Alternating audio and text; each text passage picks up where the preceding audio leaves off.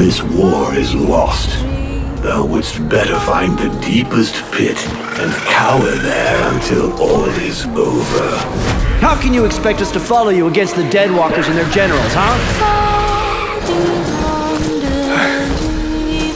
I always knew it would be you. There is not enough space inside you for two souls. That demon wants your body. It will control you more and more until it has replaced you completely. I have traveled this world and lived amongst its peoples, its elves, its humans, and I have witnessed the truth of their ilk.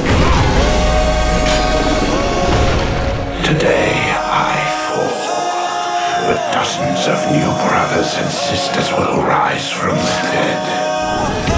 Listen to me.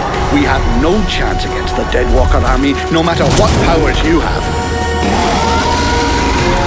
I am the only one with the power to get us through. Why dost thou resist?